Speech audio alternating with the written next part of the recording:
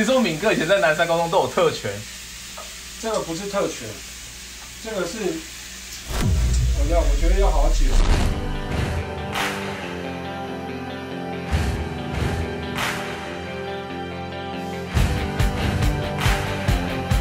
一路走来，在篮球这条路上经历了许多。十八岁我就加入到达兴，一晃也就十五年。但跟队友一起拼战的那种感觉就是很开心。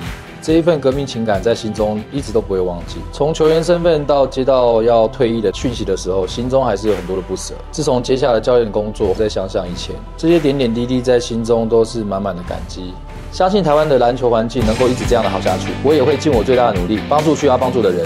台湾加油！High Five！欢迎来到午后时光，我是群哥。最近常常在问说，篮球员跟我啊，早上都吃些什么？走，现在跟我去厨房，我告诉你早上我都吃什么。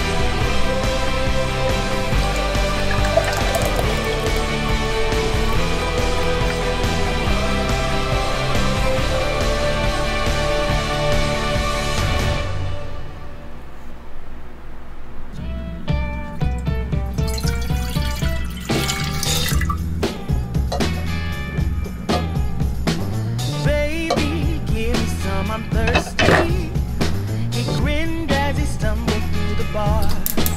Well, we said give me some more love, give me some love, give it.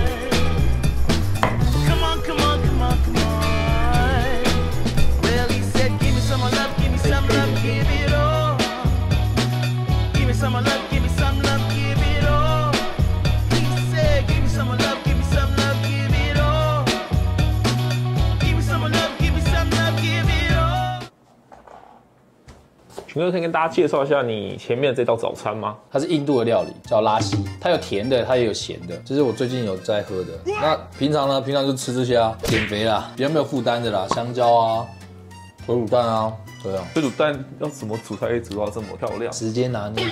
想用早餐的时刻，想跟熊哥聊一下。嗯，这次我们东京奥运，美国队从热身赛到他们打正规赛啊，其实打的有点跌跌撞撞。可是有些网友就说，波波奇教练是球员的限制器。熊哥，你会这样觉得吗？你支持哪一队？我的话也是西班牙了。哦，我怕我讲美国队不好就。不会不会不会，大家看他们这样跌跌撞撞，一定很多声音。我想一定是按照谁的状况好，放在什么样的位置上了。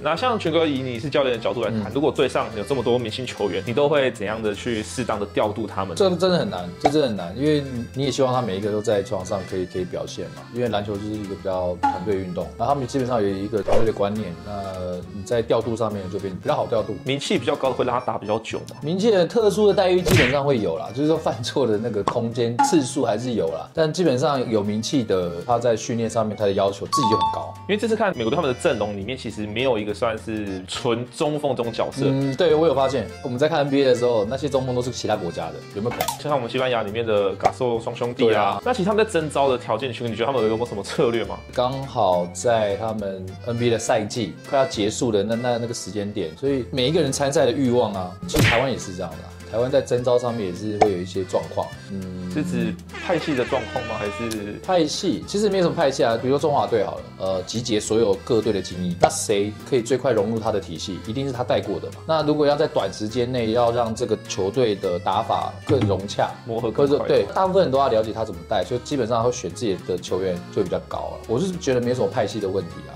群哥之前也有讨论到我们这一次东京男篮的日本代表队，对啊，那群哥你你怎么看他们最近几场比赛的表现呢？他们的比赛虽然结果都不是很好，但实际上他们竞争力、对抗性可以跟其他国家做一些抗衡。那我们台湾，我是觉得有这个机会的话，可以多效仿日本队，整体对于篮球他们自己国内发展。计划性的去走，对啊，对啊，我们没有规划球员嘛，没有一个真的可以帮我们台湾的禁区做一个保护嘛。有计划性，我们才会表现会越来越好。希望啊，也不一定哦，有规划也不一定。如果你规划三个还是行，规划一个可能对，你要规划竞争力也是不够的。那我们这次中华队其实，在奥运赛场上表现其实都还不错。嗯，有没有哪个项目或哪一个选手比较惊艳的？